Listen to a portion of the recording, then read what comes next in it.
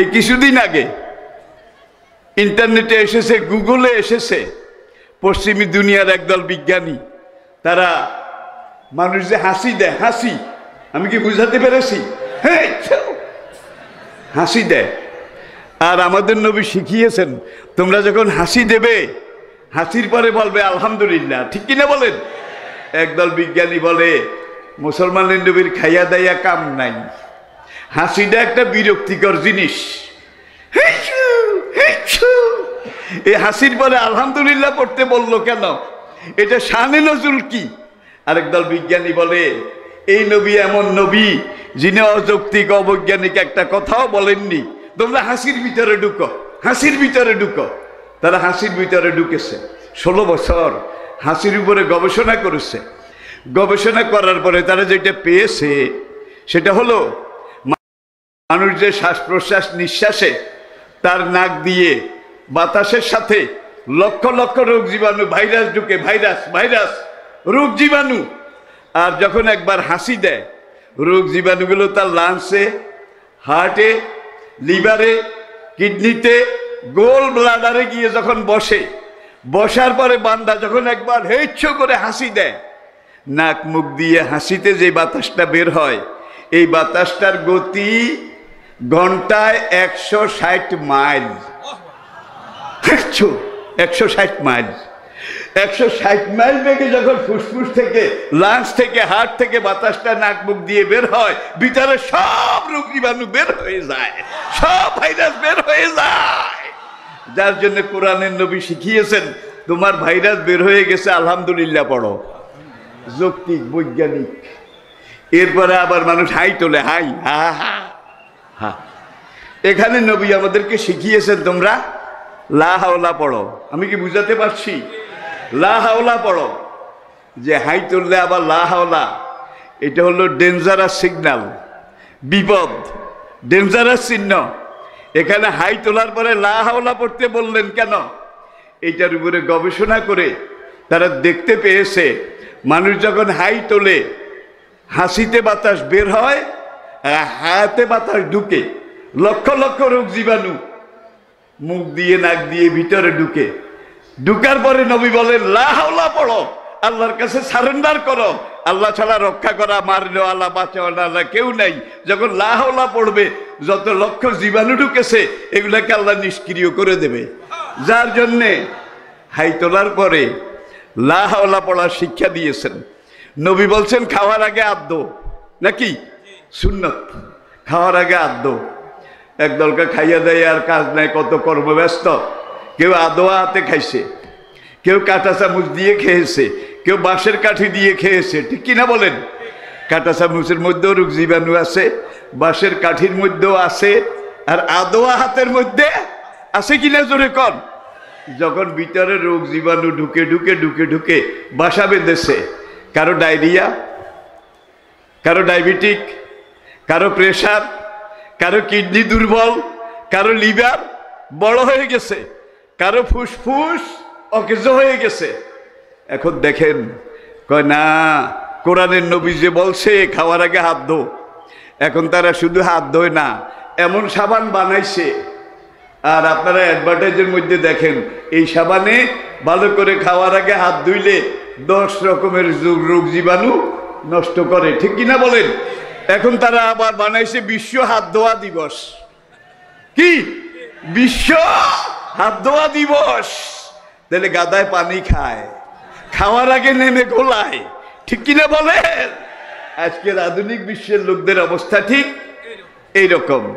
বাচ্চা যখন জন্ম নেয়, তাহলে কোরআন বলছে, হামলুহু ফিসালুহু সালাসুনা সাহারা বাচ্চাকে মায়ের দুধ খাওয়াও, মায়ের দুধ খাওয়াও। তাহলে বাচ্চাও বাঁচবে, মাও বাঁচবে। একদল উচ্চশিক্ষিত আল্ট্রা মডার্ন, বিশেষ অজ্ঞ। তারা বলে, বাচ্চাদেরকে মায়ের দুধ খাওয়াবে। এটা কি গরু, ছাগলের বাচ্চা নাকি? আমরা আল্ট্রা মডার্ন, আমরা মানুষ। এটাকে বেঁধে টেঁধে শিকার মধ্যে আটকায় রাখো। আর বাচ্চারা শুধু বোতল খাওয়াও, বোতল। যেই মায়েরা বাচ্চারা শুধু বোতল খাওয়াইছে, আল্লাহর দেওয়া এই নেয়ামত, এটা খেতে দেয়নি। সেই মা একশো জনের মধ্যে ছিয়ানব্বই জনের ব্রেস্ট ক্যান্সার স্তনে ক্যান্সার হয়েছে।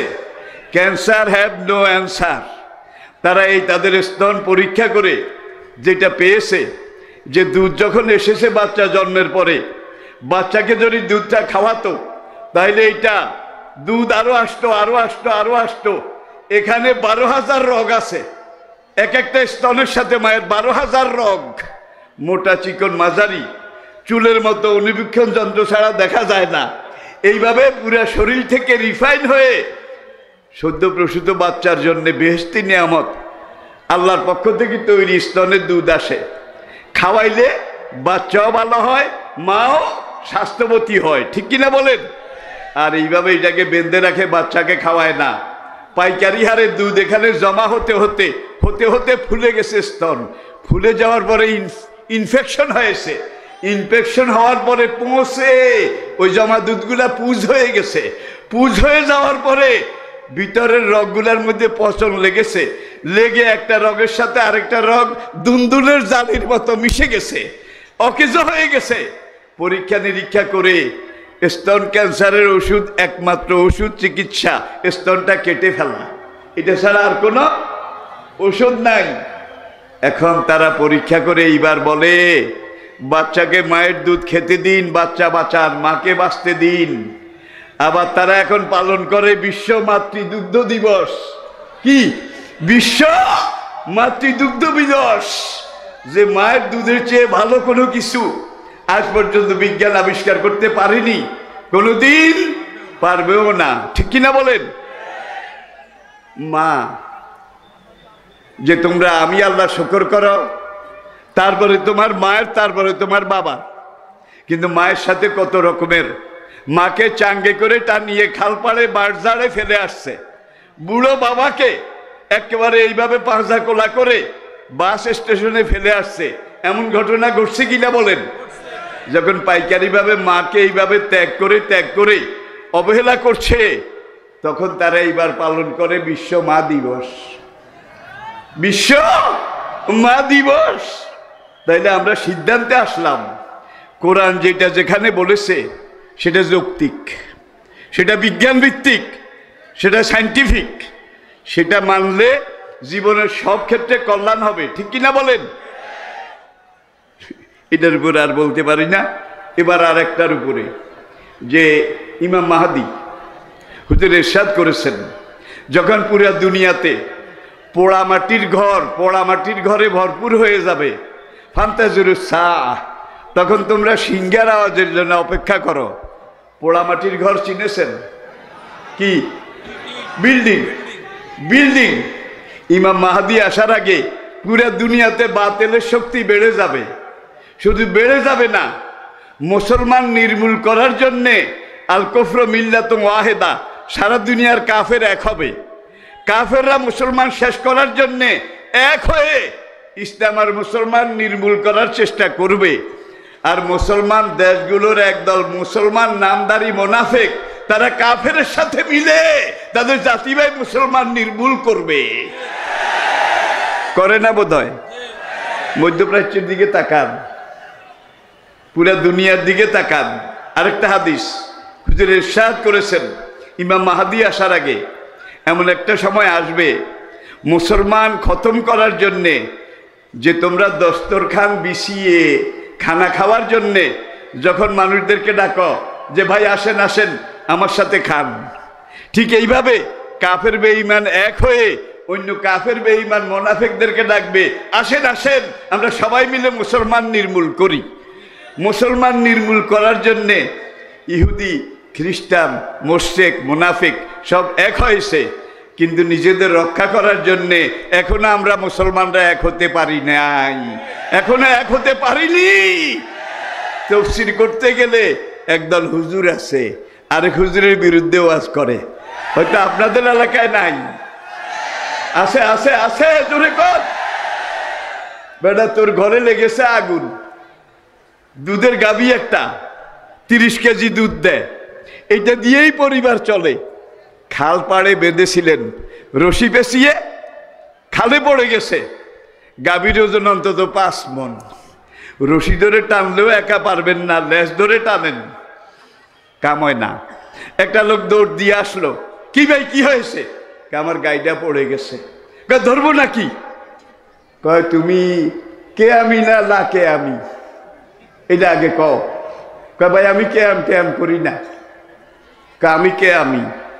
তরিকা মিলে না? খবরদার আমার গাই ধরিও না। আরেকটা লোক এসে বলল, ভাই ধর্ম নাকি? জৌনপুরি না ফুরফুরি? নাকি চর্ম নাই? ঠিক না বলেন ঠিক না বলেন। আবার আরেকটা লোক আসলো তার টুপিতে পাঁচটা তালি পাস করলি আর কি? কয়, আমার টুপি হলো জাম্বুরার অর্ধেক গোল টুপি। এইটা হলো একবারে সুন্দর তরিকা। তোমার টুপির মধ্যে পাঁচ করলি। ওহাবি না হলেও তুমি গোলাপি ওহাবি। খবরদার, আমার গরু দরিও না। এতক্ষণে কিন্তু গরুর বারোটা বেজে গেছে। ঠিক কিনা বলেন, ঠিক কিনা বলেন? আজকে সংকটময় সন্ধিক্ষণে সব আলেমের এক হওয়া দরকার। কোনো মাহফিলে, কোনো হুজুর যদি আরেক আলেমের বিরুদ্ধে ওয়াজ করে, আপনারা দাঁড়িয়ে যাবেন। যে হুজুর পারলে কোরআনের কথা বলেন, হাদিসের কথা বলেন, গিবত করবেন না। ঠিক কিনা বলেন? কোন আলেম কিন্তু ভুলের ঊর্ধ্বে নয়। তারাও মানুষ। দুই একটা ভুল ভ্রান্তি, আরেকটা জিনিস। কোরআনের সব আয়াতের ব্যাখ্যার ব্যাপারে। Silent please. No anything more no anything more আপনারা স্লোগান দেবেন, দুধ যদি একবার চুলার মধ্যে ফুটে, এটাকে কি বলে? উতরাই যদি পড়ে, তাহলে খাওয়ার মতো আর একটু দুধও থাকে না। এখন আপনারা বেশি উতরাইয়েন না। তাহলে আসল জিনিস চলে যাবে। জজবাইলে ইসলামের জন্য জমা রাখেন, জিহাদের জন্য জমা রাখেন। সময় এসে গেছে।